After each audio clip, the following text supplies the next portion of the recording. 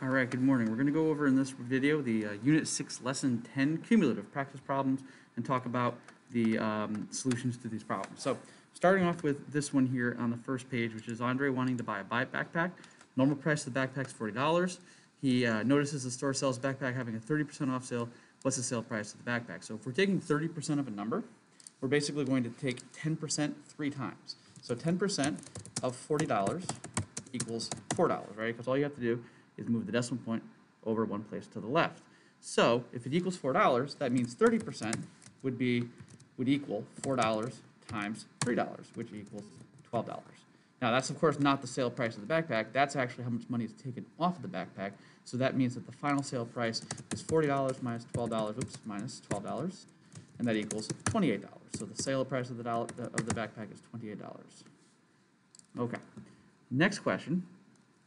On the first math exam, 16 students received an A. On the second one, 12 received an A. What is the percent decrease? When you do percent decrease, it's the final amount minus the initial amount divided by the initial amount.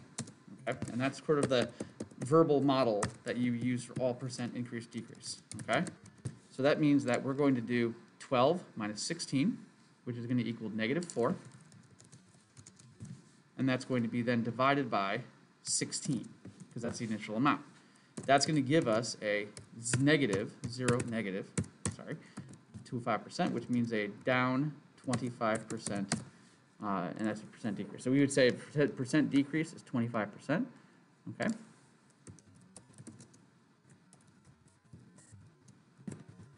And that's what our answer would be for that problem. Okay, now continuing, solving equations. In this problem here, these problems, we have to just find the solution for x. A couple of ways that we can go about it. What we're, what we're gonna do in most of these cases is do the division first before, instead of distributing. Some cases, we'll go ahead and do the distribution. Um, in, in reality, it doesn't really, really matter which way you do it, as long as you follow the rules properly. So if we see that it's two times something gives us 14, if I divide by two, let me go a little, little thinner on the stroke here. if I divide by two and I divide this by two, that's going to mean that x minus 3 is going to equal 14 divided by 2 is 7. So if I say, okay, what number minus 3 equals 7? I can find out by adding 3 to this and adding 3 to this. And that means that my solution here is x equals 10. Sorry, I'm missing my keys today. If I do the same thing over here, if I divide by negative 5 in this case first, and I divide by negative 5, that's going to mean that what's in the parentheses here, x minus 1, that's going to equal negative 8. So then I'm going to say to myself, all right, what number minus 1 equals negative 8? Well, I can find out if I add 1 and I add 1 and I see negative 8 plus 1, and that means that x is going to equal negative 7. All right, oops. Okay, negative negative 7 for that one. Now, for the next one, for letter C, this time we're going to, once again, divide by 12. And I think that dividing instead of distributing is going to be the case, is going to be the best case scenario for most people. Um, not always, as we'll see perhaps maybe in the next one, we might see, think about um, think about doing some distribution just to kind of get rid of our fractions, but we'll see that even multiplying or dividing is going to work as well. So we divide by 12. This is going to be 2, so that means x plus 10 equals 2. So what number plus 10 equals 2? We can find out by subtracting 10. We can subtract because we're doing the opposite of what it says to x, right? So 2 minus 10, that is going to equal negative 8. So x is going to equal negative 8 in this case. With this one, with a fraction, we could think about it as dividing by 1 sixth on both sides, but when we have a fraction, it's often easier to just think about multiplying by the reciprocal of that fraction. So we're going to multiply 6 here, and we're going to multiply 6 here. That's going to give us x plus 6, because that's what's in parentheses, and that's going to equal 11 times 6, which is 66. So that means that x is going to equal, if I subtract 6, x is going to equal 60 for this case. Okay? You can check these answers. Obviously, I do recommend you check these answers when you're doing these on your own. Um, with this case here, this one here is going to be one of those instances where it's like mm, either or could work nicely. But with a fraction here, it's often very easy to just go ahead and multiply by the reciprocal of this fraction. So 5 sevenths, we're going to multiply by 7 fifths on both sides. So by doing that, that gets rid of the fraction, makes it 1, and then just leaves us with x minus 9. But over here, 7 fifths, watch this. We're going to go 25 divided by 5, which is 5. Then times 7, that's 35. So that means that x minus 9 is going to equal 35. And then if I add 9 on both sides, that means x is going to equal 44. Okay, so our solution for that one is going to be 44. See how we add 9 here, and we add 9 here. That gives us 35 plus 9, which is 44. Okay, next page. We're going to select all the expressions that represent a correct solution to the equation 6 times x plus 4 equals 20.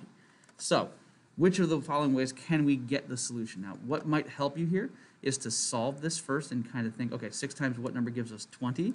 The number here actually is going to be something a little stranger. Um, we can think of it as we're going to do, um, like so if I divide by 6, that's going to be that's going to be 3 and a third. And then 3 and a third, so what number plus 4 equals that? That's actually 2 thirds, negative 2 thirds at that. So not a super easy solution to get. But let's go ahead and look at some of the ways that we could possibly get that. If we go 20 minus 4, that equals 16. 16 divided by 6, that actually equals negative 2 thirds, so that one's not going to go. If I do 1 sixth of 16, that's not going to get it, because we know that we're going to get a negative number here. If I go 20 minus 6 minus 4, that's not going to be negative. If I go 20 divided by 6, that's going to be um, that's going to be 3 and 2 thirds, 3 and a third, excuse me, minus 4. That's going to work. That'll give us the number we want. If I go 1 sixth of the difference of 20 and 24, 1 sixth of that is not a, no, I take that back. That is going to work. Yep, that's going to be, that's going to work. And if I go 20 divided by minus 24 and then divide by 6, that's also going to yield the correct answer as well. Okay, so let's go ahead and take a look at the last problem on here, and then we'll call it a video. Okay, so this final problem here, we have, uh, we have Lynn and Noah solving an equation, 7 times x plus 2 equals 91. Lynn uses the distributive property, but Noah starts by dividing by each, dividing each side by 7. So we're just going to do this equation both ways. So starting with the distributive property, if I multiply 7 times x and 7 times 2, that's going to give us 7x plus 14 equals 91.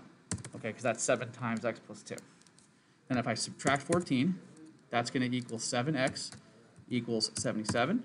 And then if I divide by 7, that's going to be x equals 11. All right, now if we do it the other way, where we just divide first, 7 into 91, that's going to be x plus 2 equals, and that's going to be, let's see, 91 divided by 7, that's going to be 13, 13. And then if I subtract 2 on both sides, that's going to equal x uh, is going to equal 11. So we get the same solution in both, case, both cases, and that's what the solutions might look like. Okay, so hope this video helps you out, and uh, hope you have a wonderful day.